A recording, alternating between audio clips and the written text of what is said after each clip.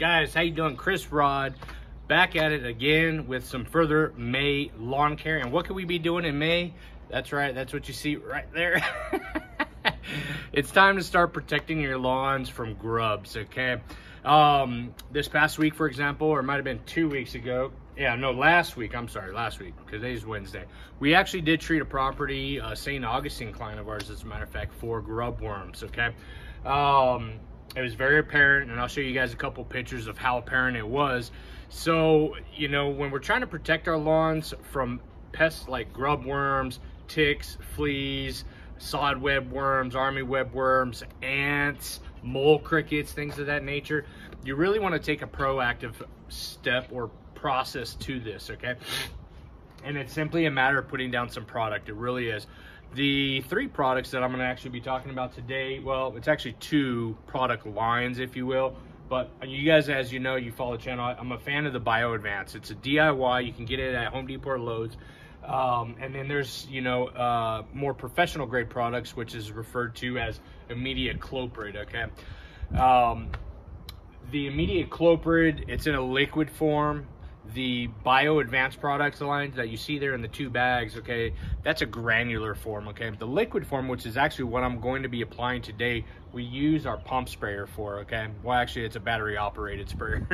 but either way, uh, the reason why I like the liquid form is because A, it's cheaper per application per thousand square foot. Um, I only have to use 0.6 ounces of that product in liquid to spray a thousand square feet as opposed to the granular it's on the high dollar cost side per thousand square foot. I think it's like a six seven dollar per thousand square feet application rate on, on cost wise. But those bags it's more of a diyer thing. The liquid form is really you know you've got your liquid sprayer uh, it's battery operated. Those are some higher cost items all right the uh, push spreader you see behind here, that's simply what you use. If you don't have to have that brand, I use the Spyker brand. You can have a Simply Scott spreader. That's when you need to go ahead and use those granulars, okay? Inside of the, let's take a look real quick. So when we're taking a proactive measure to this, what you want to do, and this is really for if you don't have grubs yet and you're targeting the pests before you see June June bugs or little beetles flying around your lights or in your pool skimmer. If you guys watched my video last week, we actually looked inside of our pool skimmer. We didn't see any grubs. Thank God. Knock on some wood because we don't want to see them at all. So we be proactive. We're trying to be preventative about this. This is the product that you guys want to use, okay? Um, the season grub control okay? A lot of these products are going to give you a three to five month residual and you should want to reapply uh, after those three to five months you know round it up stick it to four months if you want uh, go on the lower side three months. So if we put down product now that's going to give us july i'm sorry june july and august. The back end of august or early september i have seen pest issues before that late in the season so you reapply some product. Um, but right there, it's going to tell you uh, season long. That's what you're looking for when you're taking that preventative, proactive approach on it. Read the back of the label. The label's the law, guys. A lot of these products, some states you can apply them, some other states you can't. Here in West Texas, you can absolutely put this product down. It's going to tell you your application rate, and then it even tells you, gives you a little diagram there, broadcast spreader, depending on the type of spreader you use and what setting to use it at, depending on your application rate, okay? So it's very simplistic, guys. Season-long grub, proactive preventative measure, use the season-long protection. Now, if you know you got actively growing grubs or you pulled back some areas that looked brown, they were green at first and now they're brown, um, and you it pulls back, you do a pull test on it, you get you grab that grass and you pull it like someone's pulling your hair, right? But it doesn't pull out or it does pull out and it just folds back all easy like a piece of carpet, like you're rolling up a carpet. And then right below that, if you scratch the surface and you see a June bug, well, what happened was that June bug went through the life cycle of a June bug. Um, and you know that parpa, parpe turned into a beetle or a June bug, right? And it started to feast on your root system. it ate away at the root systems on the grass. When it did that, that's what turned your lawn brown. When you have an actively actively growing problem like grubs, ants, chinch bugs, things of that nature, you need a product that's going to go ahead and kill that grub worm now. Now, as in within 24 hours, dead, gone. It's a goner. The active ingredient in this is tricloforan, okay? Did I say that right? Yeah, tricloforan. So it's gonna kill it, it's gonna put it down, and these products like this, um, not, not necessarily this one, this active ingredient, but I know the imidacloprid for sure. Fun fact for you guys is that it is uh, in the pesticide family of what's called a, see if I can pronounce this right, a neonicotinoid. Okay, A neonicotinoid is um, something that essentially is acting like a nicotine product where when the pests feed on that product, it feels like it's full, I guess you could say. It stops its eating abilities. When it eats the chemical, when it eats the or the, the pesticide, it stops eating or feasting on your root system and destroying your grass neonicotinoid. It's a fun fact for you guys. Nice little word there for you. Um, learned something today, yeah? neonicotinoid. I like saying that word, neonicotinoid. Uh, it's in your pest control families, all right? The imidacloprid, definitely that product. Okay? What's great about them is that they're water soluble. So when you mix these products into a tank sprayer, mix it with water, you spray your lawn, any one of the granulars or the liquid applications, what's key about this, you have to water them in. You want that to be uh, watered down into the soil system where the problem resides, which is your grub worms in the case of this video. So you got some option guys. You can get the DIY stuff at the big box stores. You can get professional with it if you want something that's a little bit more affordable long term. 0.6 ounces out of a gallon 128 ounces divided by 0.6. You know how long that bottle is going to last me?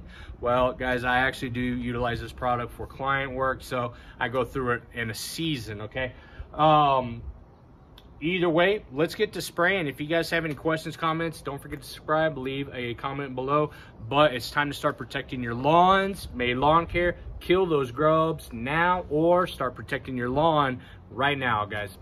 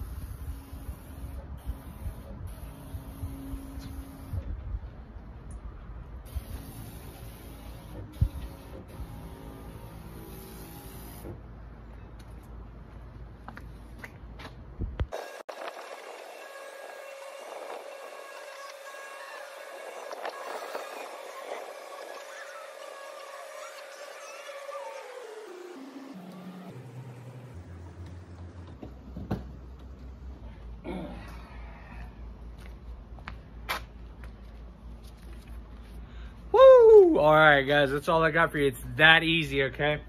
Um, last few things. Um, granular or liquid form, either way is a great option. DIY, get yourself a spreader, get yourself some product to prevent grub worms, get the season long control. If you know you've got an actively growing grub problem, go ahead and use a product that's got that 24 hour kill grub now kind of label to it, all right? reapply. I would stick with three months. Go on the lower side, reapply every three months. Uh, now is the time to do it so that you're constantly protecting your lawn during that life cycle of the grub worm, okay? Neonicotinoid, don't forget that one. Tell all your buddies about it. It's a really cool word. um, and then lastly, a little pro tip. When you guys saw me mixing uh, my liquid form, you saw me rinse out my, my actual container, okay?